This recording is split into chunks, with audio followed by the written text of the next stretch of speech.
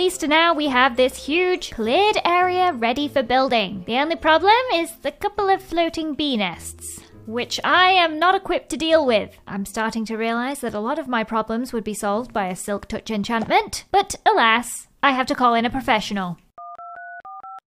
Hello? Hello? I have a bee situation. I need assistance. Oh, yeah. I have what you need. Don't worry. Do you think you could come and help me move them around? Yeah, yeah, yeah. I love working with bees. I'll be there soon. Great. Bee help is here. Oh, thank goodness. I brought you a kit to help with the bees. Undergrad. there you go. Everything fell out. Okay, they love fire. Got it. Set them on fire. Da da da da. Un- under. Uh, they like you smoke. Like so. So now I can just do that. There you go. You got your Wow. very own bees. There, Like there's there's another one over here. I need help. I can't do this on my you, I own. got you. There we go. Wow.